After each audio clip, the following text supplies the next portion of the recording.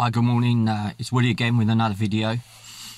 Um, I was thinking about what in, what to uh, talk about today, and um, I sometimes just things come to me, um, like when I'm driving or wherever I'm talking to someone else. Um, these things just they pop into my head. Now, and sometimes I I lose I lose that uh, with the treatment I'm on. I sometimes have um, a bit of a short-term memory um, lapse. So stuff I talk about sometimes comes from something I might have thought about a couple of weeks ago. I meant to talk about it and forgot. But today I um, I want to talk about something um, about how we learn, um, and, and that's very relevant to suffering from cancer. So I'll just give you a quick update on um, how things have been. Um, for those who don't know me, uh, my name's Woody. Uh, I've got prostate cancer, um, stage four, which in itself ain't great. And then uh, a couple of weeks ago, I also discovered I have um, skin skin cancer um, on my head. Uh, so that put another uh, damper on things, I suppose. Um, and every night my um, my wife lovingly uh, rubs this kind of cream into my head uh, that burns away the um, the cancer cells in there. It's a bit painful. Um, she has a smile on her face while she does it, um, and it's another thing I have to deal with. You know, it's it's another in the life of a cancer sufferer. So anyway, um, this week I've I've had a um, I've had a really good week in response to everything. Uh, the stuff on my head seems to be, after what, two weeks now, seems to be starting to, to disappear, which is fantastic. Um, my PSA result, the PSA result has gone down. Um, is now less than 0.01.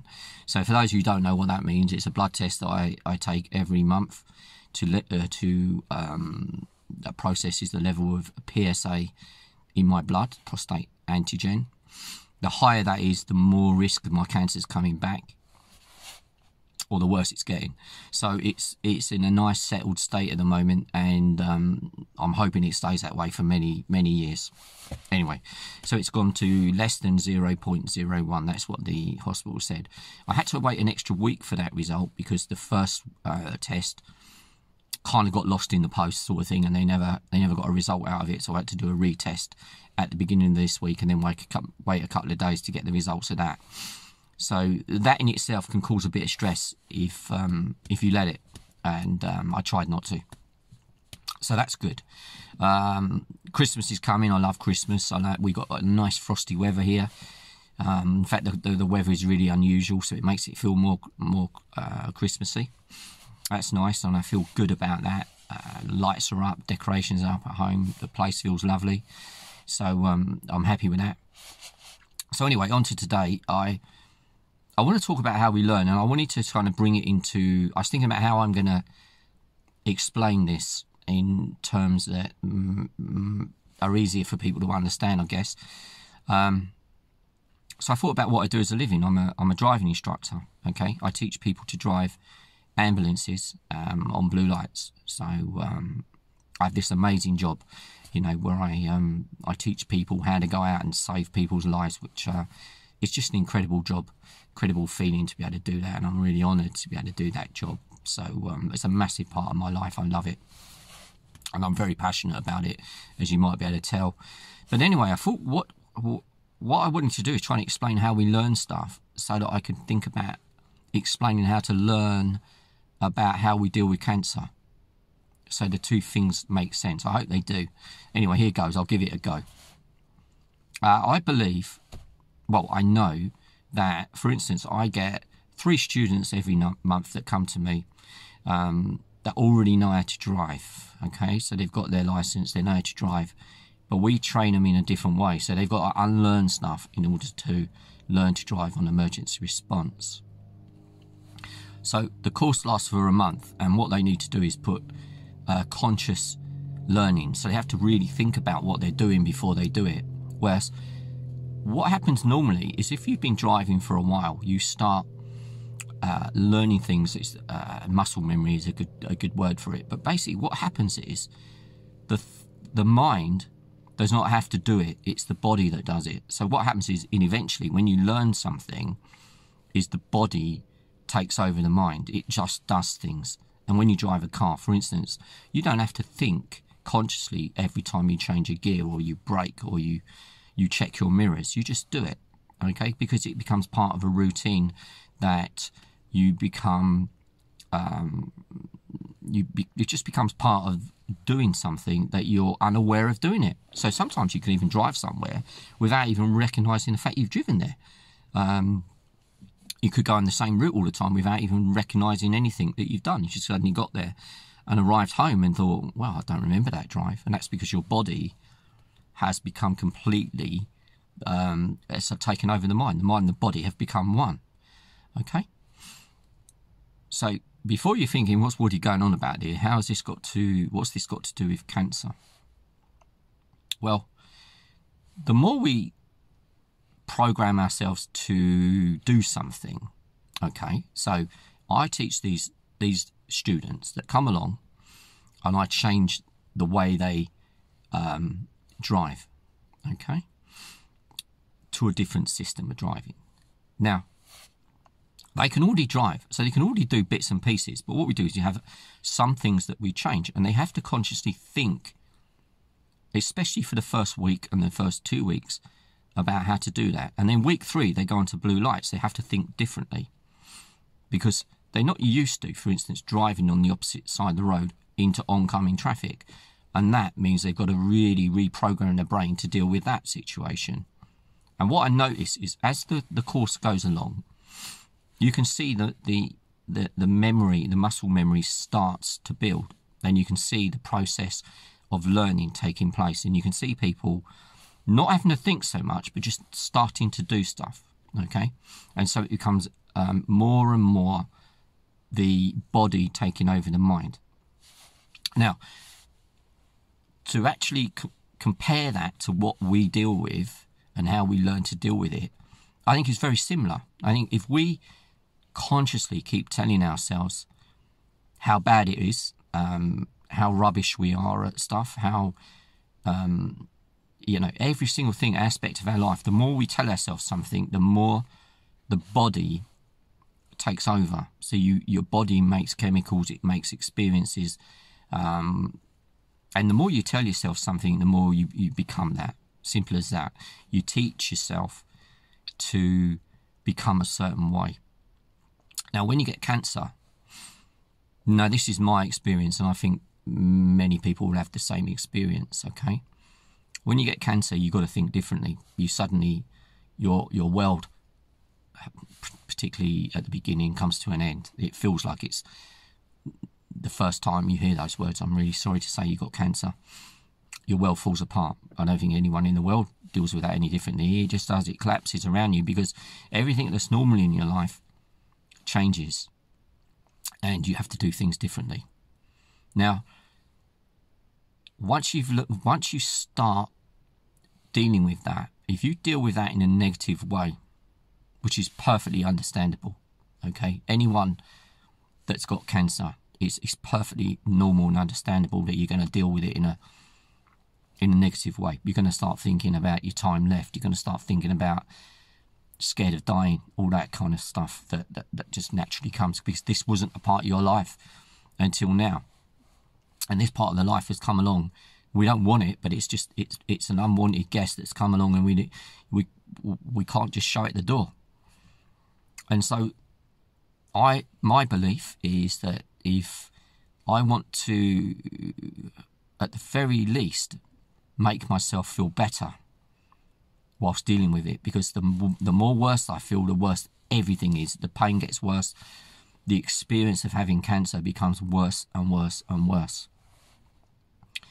And so I have to teach my body through my thinking how to react so that my body does the doing. Okay, I hope you get me by now. Okay, so I have to feed myself with positivity.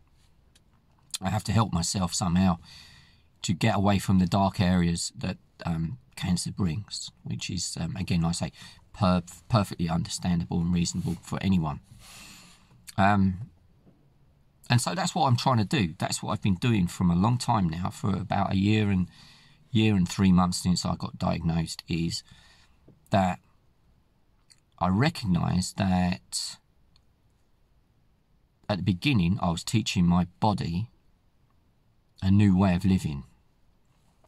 So I was teaching it to become negative. So the pain was bad. Everything, everything about it was bad. My thoughts become bad um, and very negative. Okay. And so I've had to make a conscious effort to change that. And a conscious effort means that I'm, I'm literally telling myself what to do until that becomes a, a normality. It becomes normal. Okay. I tell myself, for instance, that I need to focus on now rather than the future.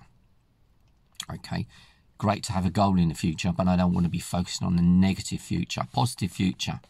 Christmas coming up, then I want to see next Christmas, birthdays, my kids, yeah, all that stuff. Those positive values and positive steps I think are so important to focus on, but don't focus on the negative aspects of the future about the what ifs what ifs are what they are. They, they, you never know. No one knows. Okay. I think. Now here's a bit that may be a bit controversial. I think we learn over years and years and years to. I think we we, we teach our bodies um, to get cancer. This is this is my own thought about this. Okay, not on purpose, but by what we do to ourselves as I said in the last um, video, I was talking about depression and how we we learn depression. Um, our body learns how to have cancer. I'm, I'm truly believe that the way we do these things in our life, our the emotional things we teach ourselves, we teach ourselves we're not good enough. We teach ourselves um, to become depressed. It's not the things that happen to us; it's the way we deal with the things that happen to us that's important at the time that doesn't seem real, but it is real. Um, and so, if we're teaching our body how to have cancer, then, then surely we can unlearn that. That's what that's my idea is. My body's got cancer, right? Now I want to teach my body how to not have cancer. So this is all an experiment, really. What I'm doing is is trying to um, change my world my inner world and my outer world. Okay? I try not to sweat the small stuff anymore. I try not to get involved in petty arguments, anything like that. I would rather just walk away. I'm grateful. I, I have a strong, strong belief in gratitude, helping, um, being kind. All these things are promoting strong values and strong beliefs and a stronger immunity system, the immune system, sorry, it starts to grow and become stronger. So I think cancer only survives in the inner world of where, where it where it's happy. So I want to make it unhappy to live there. I don't want to hate it, uh, and I really, um, I'm not going to go down that route. I'm going to enjoy the benefits I have from it, which is really weird. Again, I have got benefits, and I think anyone that's been through it and up to this stage where I am now will discover that they they hold life more dearer than they've ever done. And so there is benefits to that. There's things that open up your eyes and make you see different. The world is a different place with cancer once you've got used to it. Okay. Um, yeah, life life for me now is a, is a much better place in a, in a very, very strange way. I feel much freer to love. Um, I'm not ashamed of myself. I'm not, you know, all these things in my life, the, the past that have, my body has learnt um, to do. You know, I, I, can again go back to another driving analogy where, for instance, I might be driving down the road and all of a sudden I come to a queue of traffic. My body would learn to get stressed. It would see the traffic. I wouldn't have to think about it. I just become stressed it'd be supplying chemicals in my body that make me stressed.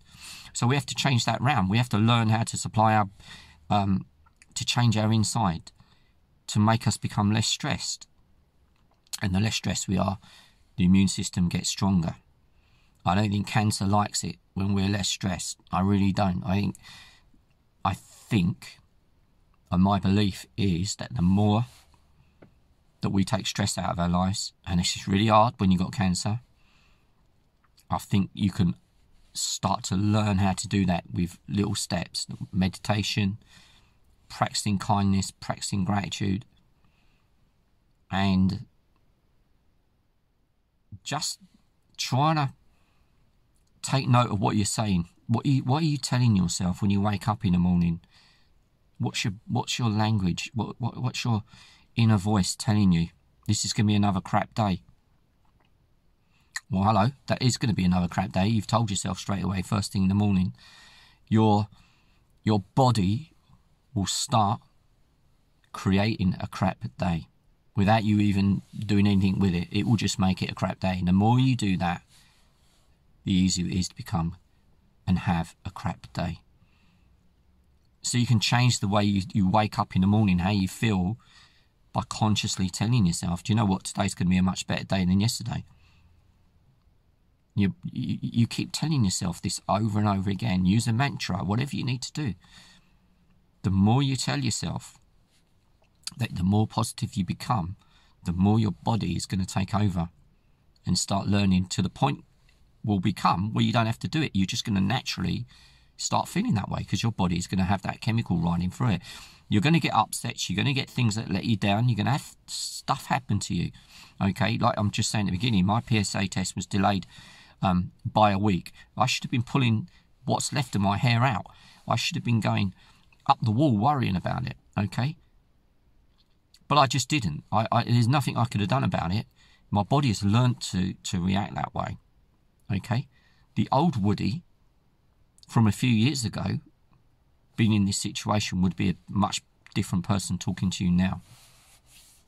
Um, so that's what I'm passing on. I'm trying to pass on the fact that if we if we can start helping ourselves by unlearning some of the reactions and normal reactions we have to everything in life, the curveballs that are chucked at us, we can throw them back instead of just accepting it and letting the body take over and and and, and just exploding us with chemicals that make us unhappy and sad and depressed um, and full of anxiety which beats up the immune system, which then the cancer cells are like, Yep, they love it. That's what they want. These are my thoughts, okay? I hope, again, that if I express these, and I, I really appreciate the um, the people now that are replying, and I, I don't reply every day, but I'm trying to reply to every single person. It's starting to get more and more difficult as I realise that um, somewhere in the region of 30,000 people have now watched the um, the videos. I don't mind if you share them. I don't know if you, I don't mind what you want to say on there. It's lovely to have this dialogue going. I'm learning from people, and people are learning from me, and people are learning from other people. Um, I'd like to say you're not alone, and that's the, the, the, the, one of the things that I found at the beginning was I felt alone. There was no me here that, that, that was talking to people, and I, I, I hope that that's what I'm trying to achieve, um, because there's no other reason I do it other than to try and promote something out there that, that may help someone um, who's going through this and, and can't cope with it and doesn't understand um, and thinks that, that the end of the world is nigh. And that's it, because it isn't. You can, I believe, you can unlearn the way you deal with stuff to become better at dealing with stuff. And then you find your world changes because it changes from the inside out and you become better and better. Um, not just physically, but spiritually, mentally. Those things are, are so, so important. So, until the next time, I really hope you've enjoyed this. Please, um, it'd be nice if you give me a like. and that's nice if I if I see people are liking it. Um, I've not seen many thumbs down. I'm really pleased with that. So, obviously, my thoughts and, and stuff that I'm talking about are being received okay. Um, it's quite a scary thought at first doing this on a on a YouTube channel. Um, now it's become a bit more normal, and again, I, I've I've taught myself to become more used to doing this. Um, my, my body reacts, it's not scared, I'm not worried. Nothing fazes me anymore anyway. Um, so until the next time, um, just try and think about that. See if you can unlearn the way you deal with stuff and see if it works and give me some feedback um, because that'd be really helpful. And you can sub- subscribe, believe it or not, um, by pressing a subscribe button. It's no, so simple, and then you'll get these um, videos straight to you. Anyway, till the next time, please stay safe, stay kind, stay grateful, and be positive. Okay? Take care. Bye.